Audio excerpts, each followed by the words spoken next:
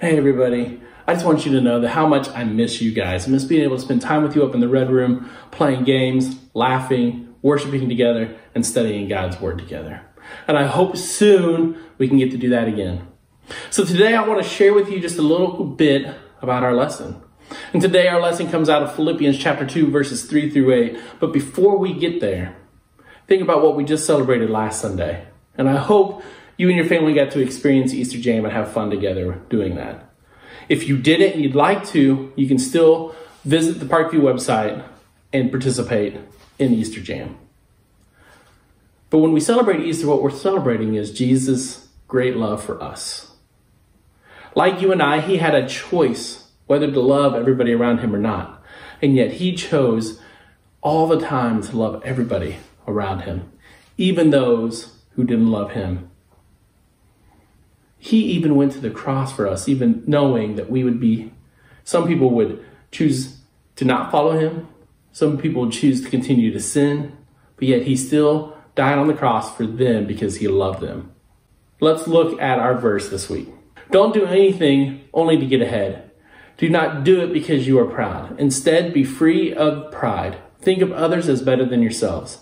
None of you should look out just for your own good. You should also look out for the good of others. You should think in the same way Christ Jesus does. In his very nature, he was God. But he did not think that being equal with God was something he should hold on to. Instead, he made himself nothing.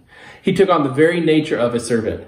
He was made in human form. He appeared as a man. He came down to the lowest level. He obeyed God completely even though it led to his death. In fact, he died on a cross. Jesus chose to love everybody.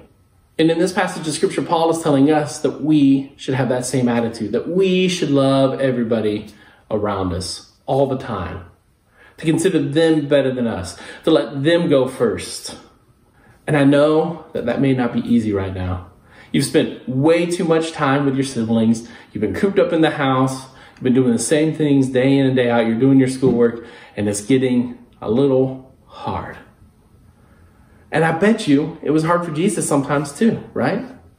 But he chose to love. And in the same way, we need to choose to love. We need to put others first. Jesus put us first, so therefore we need to put others first. So that's my challenge to you this week, guys to find ways to put others first, to find ways to love others, to find ways to show others that you love them more than you love yourself, that you consider them better than you. It may be hard, but I know you can do it. Give it your very best this week. Have a great week, and I can't wait to see you guys soon.